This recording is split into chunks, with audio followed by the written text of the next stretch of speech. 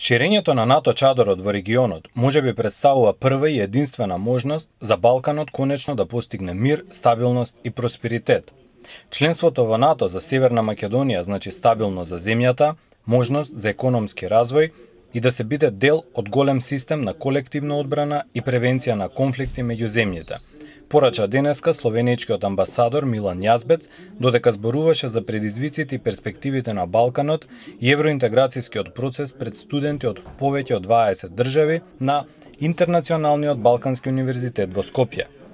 Амбасадата на Словенија од 1 јануари годинава е контакт амбасада на НАТО во нашата држава. Јазбец, со оглед на брзото темпо на ратификација на протоколот за членство во НАТО, порача дека очекува неговиот двегодишен мандат да заврши и порано.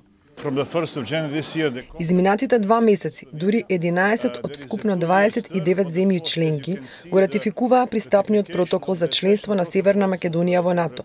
И од тука очекувам дека мојот мандат ќе заврши побрзо од предвидениот двегодишен мандат, што е особено важно за вашата држава. Ната и пријателска поддршка на Словенија. Денешното предавање тука пред студентите од повеќе од 20 земји најдобро покажува како да се поттикнат и мотивираат младите луѓе Како да им се покаже дека постои пат напред за секој и дека секој може да успее со напорна работа и образование.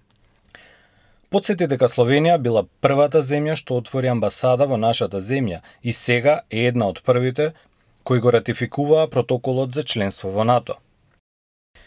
Амбасадорот Јазбец пред студентите зборуваше за тоа како Европа, единствено преку заедничка активност на НАТО, ЕУ и Советот на Европа, успеала да достигне така високо ниво на економски и политички развој, додека со евроинтеграцијските процеси покажала дека е можно тоа да се искористи за трансформирање на глобалната заедница.